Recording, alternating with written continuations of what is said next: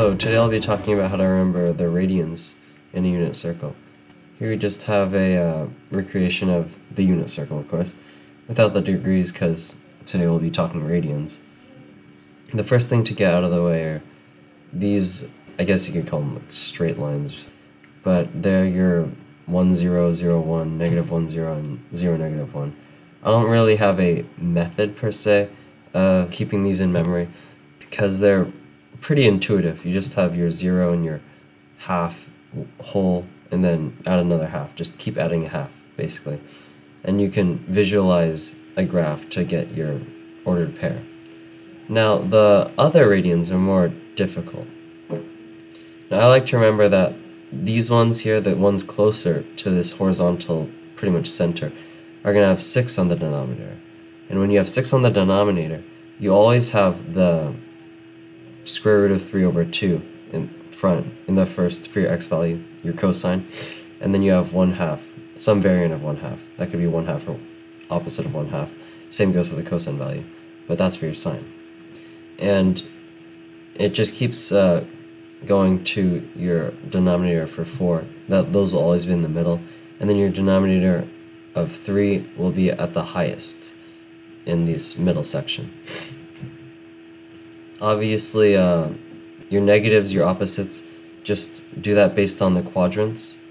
But the numerators, I think, they seem the most random. But if you really think about it, it follows a, uh, a certain order. We have, for our first quadrant, just all ones. They're uh, the smallest fractions. But as you go farther, you'll see here, this is a 2 thirds pi. That's 1 less than your denominator. 2 is le 1 less than 3. This is also 1 less than your denominator. And your numerator here is also 1 less than your denominator. And then for your third quadrant, where uh, both x and y in the ordered pair are negative, it, uh, well, it kind of goes the opposite way. You have one more than the denominator in your numerator, 7 sixths pi, and then one more for the uh, square root of 2 over 2 radian. And then you have 4 over third 3 pi, which is again one more than the denominator. And then for your last quadrant, your fourth quadrant, there is still a pattern. And it's just like you double the denominator. 3 times 2 is 6, and then you subtract 1. So that's how you get 5. 4 times 2 is 8, and then you get 7 by getting rid of 1. 6 times 2 is 12, minus 1 is 11.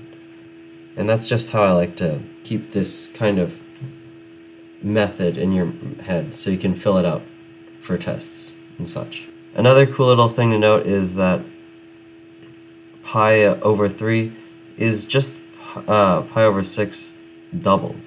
And it keeps going like this. This is a 4 sixths pi, same thing, simplify the fraction and it just keeps going around. You don't need to know that, but I just uh, explains some of the seeming randomness here.